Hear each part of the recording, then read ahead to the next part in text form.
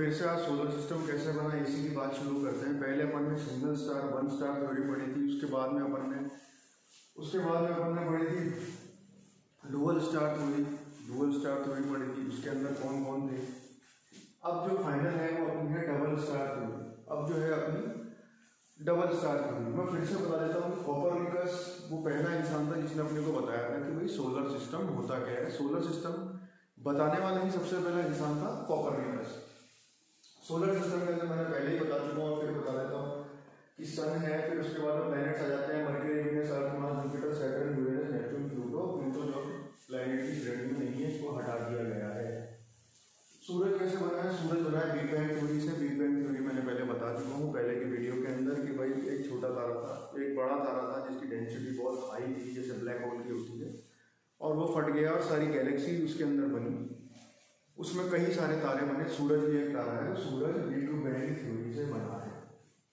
यहाँ तक की कहानी तो आप लोगों को समझ में आ गई। अब इस थ्योरी के अंदर, जिसको प्रूव माना जाता है कि हाँ यार, ये जो इंसान कह रहा है, वो बिल्कुल सही है, ये है डबल स्टार थ्योरी जिसको लिखने वाले थे लिलिटन प्रोफेसर लिलिटन ये भाई साहब जो थे, इन्होंने बताया था कि डबल स्टार थ्योरी क्या होता है। इसमें उन्होंने कहा था he told that there are two more star other than sun ये कहते हैं कि सूरज के अलावा दो तारे और थे सूरज के अलावा दो तारे और थे तो सेकंड वाला तारा था, उसने पहले वाले को खींचा। सेकंड वाला तारा था, सूरज अपनी जगह से कहीं नहीं गया, सूरज तो वही था। सेकंड वाला तारा जो था, उसने पहले वाले को खींचा, पहले वाले को उसने खींचने के बाद में प्लेनेट बना दिया। और क्वेश्चन होता है कि दूसरे वाले तारे का क्या हुआ? तो ये बोलते हैं भाई साहब ये बोलते हैं कि दूसरा वाला जो तारा था, दूसरा वाला जो तारा था, वो ब्लैक होल बन गया। और ब्लैक होल बनने के बाद वो सोलर सिस्टम की कक्षा से भटक गया और वो सोलर सिस्टम छोड़ के ही निकल गया। तो एक तारा तो बन गया अपने प्लैनेट्स क्योंकि सेकंड वाले तारे ने उसको खींच लिया तो वो तो बन गया प्लैनेट्स और ये बन गया ब्लैक होल अब जब ब्लैक होल बन गया तो बचा कौन सूरज? और नौ प्लैनेट्स तो अब क्रिटिक्स ने अपने जो क्रिटिसिज्म करने वाले इन्होंने अपनी कमेटी बैठाई, इन्होंने रिसर्च की इसके ऊपर, पर इनको कुछ भी नहीं मिला। ये क्या बोलेंगे इसके ऊपर? भाई ब्लैक होल बन के निकल गया। सारे जो प्लैनेट्स हैं, वो सूरज से तो निकले नहीं उसका स्ट्रक्चर ही मैच नहीं खाता है। उसका स्ट्रक्चर ही मैच नहीं खाता है, धरती के ऊपर तो कितने मिनरल्स मिलते हैं। सूरज जो है, वो तो प्लाज्मा का बना हुआ है इसमें खाली गैसेज हैं हाइड्रोजन हीलियम तो सूरज भी कहीं नहीं गया। दो तारे इसने और बताया जिसमें तोड़ करके उसने दो प्लैनेट्स बता दिए और तो दूसरा वाला तो ब्लैक होल बन के निकल गया। तो इसकी जितने भी रिसर्चर थे, इन्होंने इसकी थ्योरी को अप्रूवल दे दिया। उसने इसकी थ्योरी को अप्रूवल दे दिया। ये देखो, ये जैसे सूरज है, ये दूसरा तारा है पहला तारा है। ये दूसरा है, पहला, दूसरे ने पहले को खींचा। पहले को खींचा तो प्लेनेट फॉर्म हो गए। प्लेनेट्स फॉर्म हो गए, पहले वाले। दूसरा वाला जो है वो अपनी एज पूरी कर गया।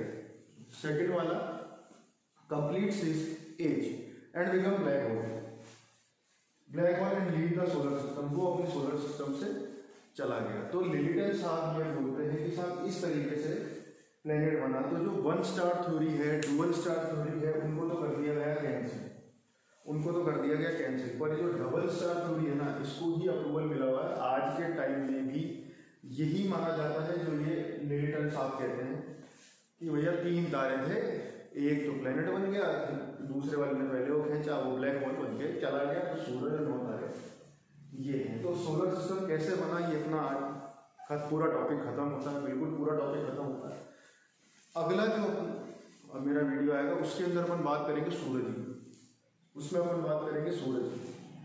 सन इंटीरियर की बात करेंगे तो ये आप देख लेना, इसके नोट्स बना लेना। जो इंग्लिश वाले हैं, उनके लिए मैंने बोर्ड पे लिख दिया है, और जो हिंदी वाले हैं, उनको मैंने समझा ही दिया है।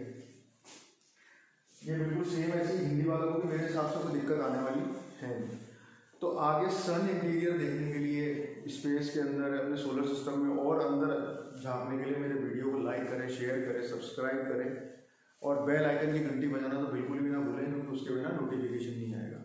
मैं हटता हूँ, उसका स्क्रीनशॉट ले लीजिएगा। जय हिंद।